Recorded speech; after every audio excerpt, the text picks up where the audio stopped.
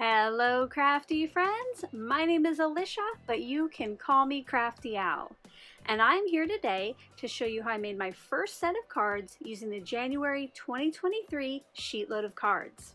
I hope you'll stick around, see how they're made, and get a few tips along the way.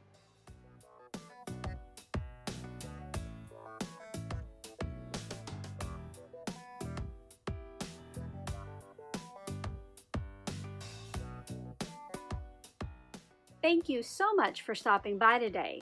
If this is your first time to my channel, I hope that by the end of this video, you'll be inspired to click on that subscribe button below and ring that bell for notifications.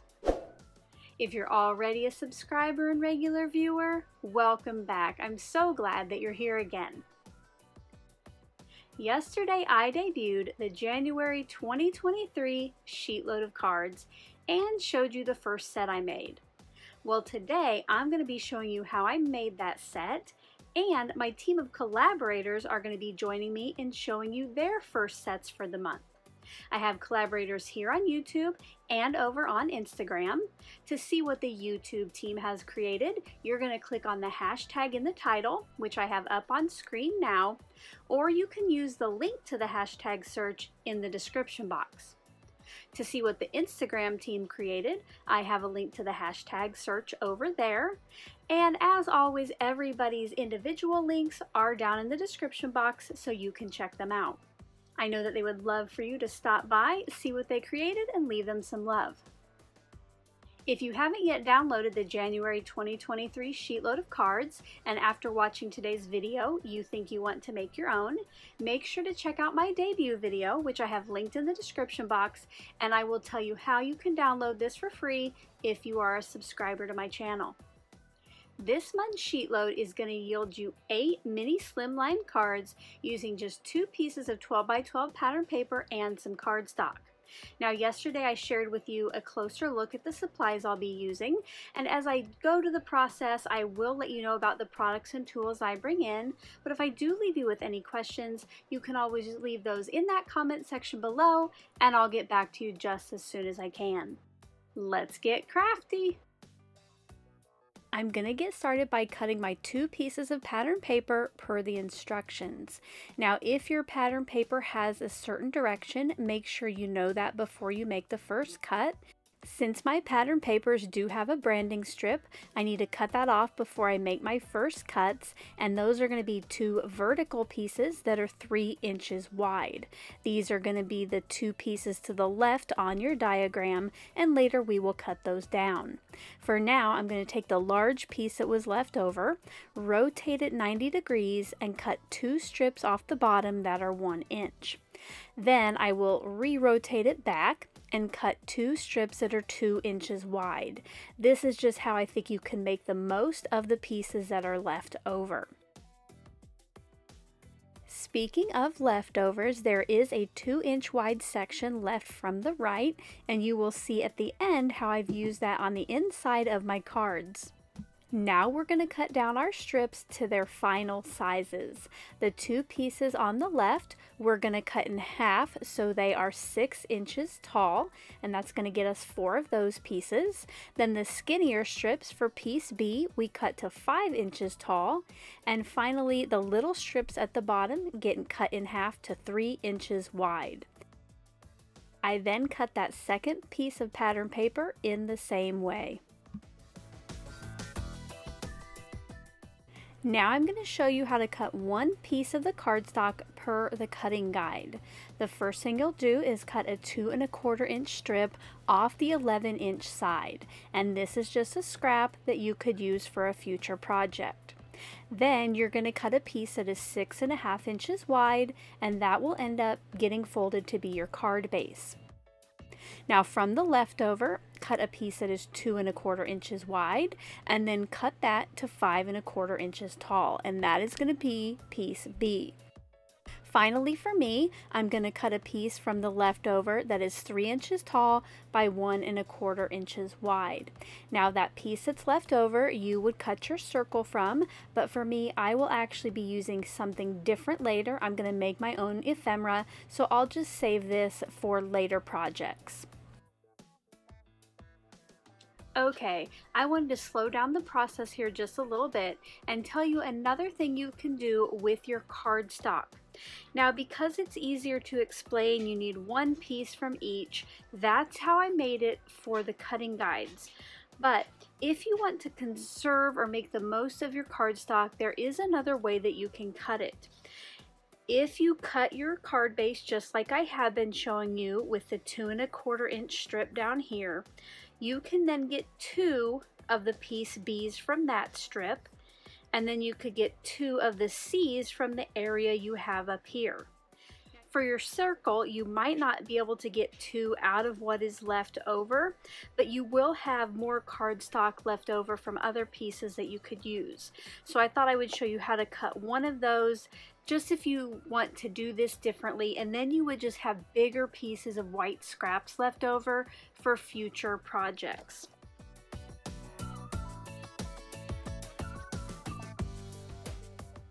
So that first thing is the same, you will have to cut one card base out of each one of the card stocks.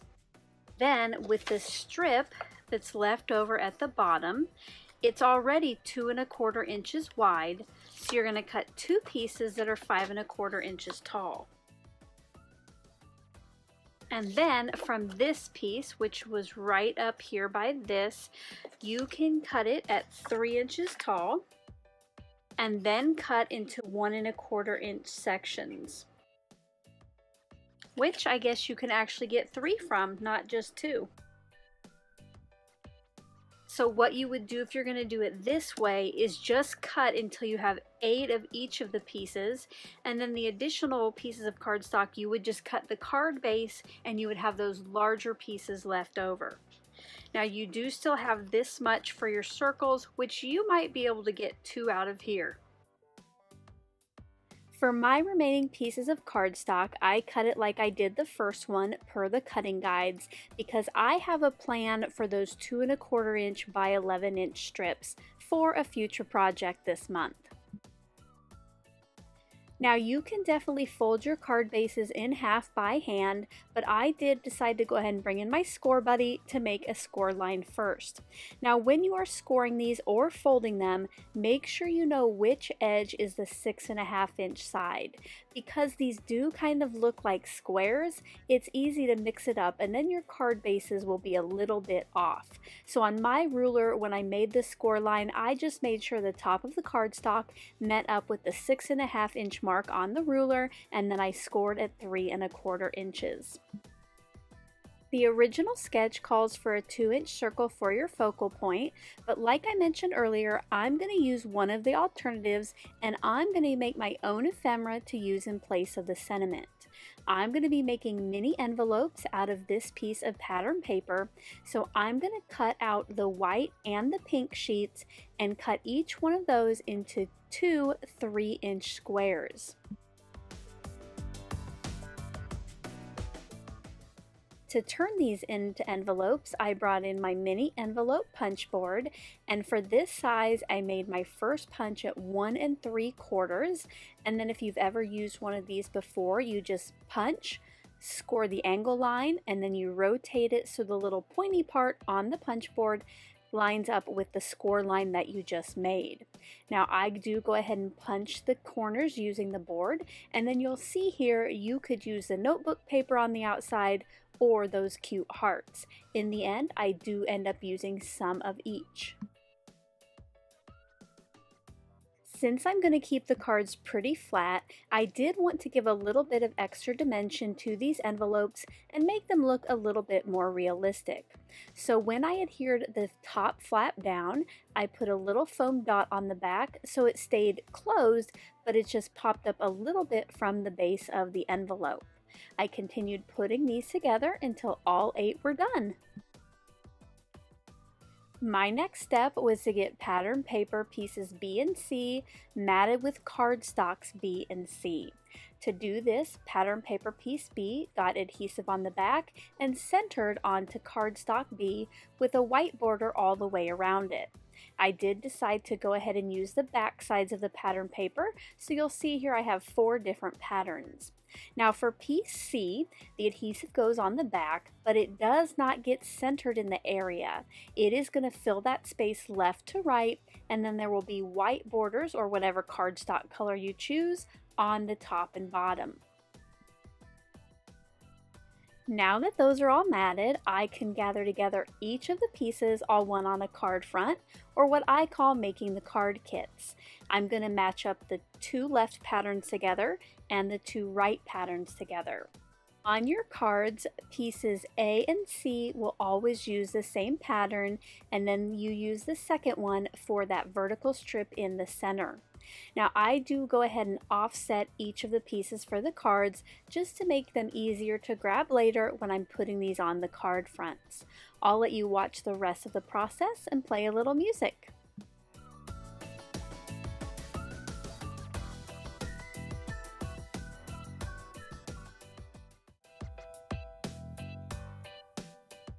I brought back in my card bases and now I'm going to take one of the card kits that I just put together and adhere those pieces to the front.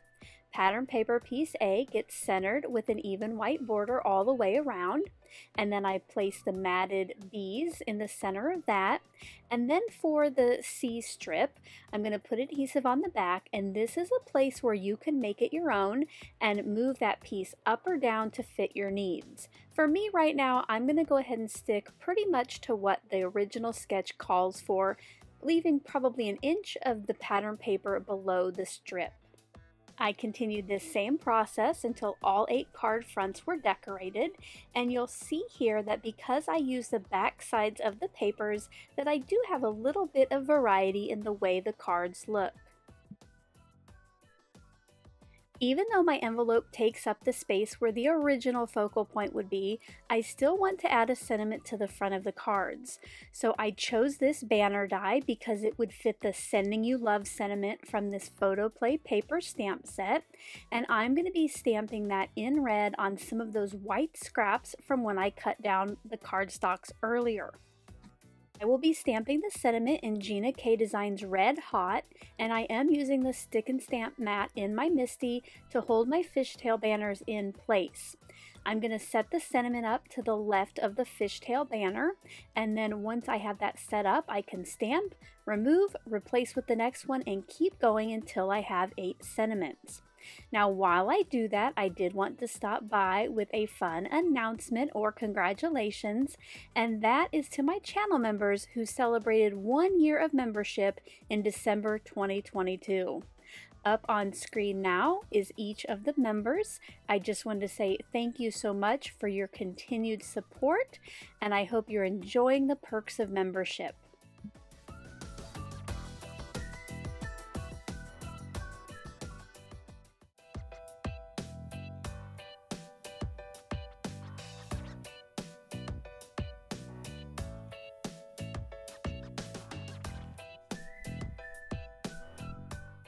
Channel membership is a great way to show your favorite creators that you appreciate what they do. Here on my channel, I have membership starting as low as $1.99 a month.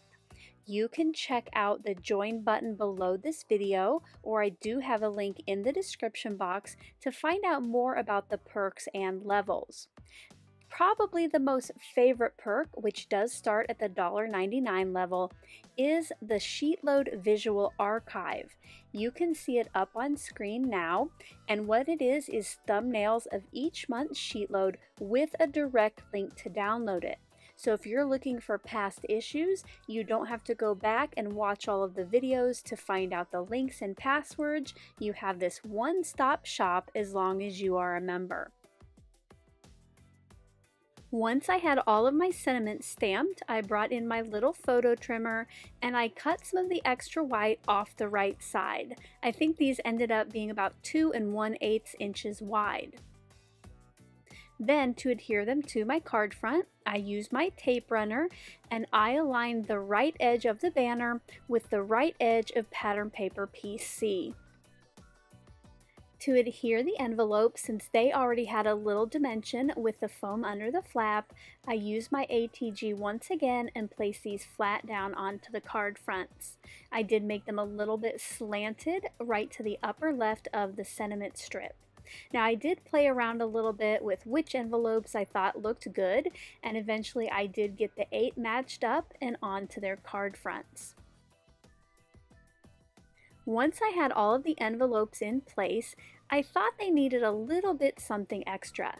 So I used a scrap of red cardstock and off camera die cut eight little hearts. I adhered one to each of the envelope flaps and I let those dry for about five minutes. Now while they were drying, I cut up the scraps of pattern paper I had left over and I decorated the inside of the cards with a couple little strips. And check this out. After I had those decorated, these were the only scraps I had left. So I would say that was a success. I could have stopped here, but I did decide to add a little bit of sparkle. To do that, I used my Stardust Stickles to put a thin layer down on each of the red hearts. I set these in a safe place overnight so they could dry well, and here are some close-up looks at the finished cards.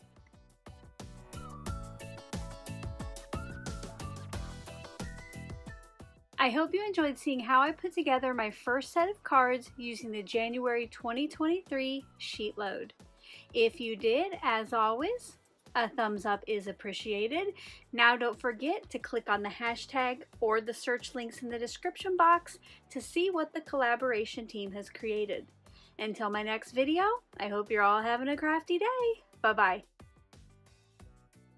Thank you so much for taking the time to watch all the way to the end of the video. I hope now you'll consider clicking on one of the videos or playlists I have linked above. And if you are interested in any of the products or tools I used in today's video, I do have some links in the description box below.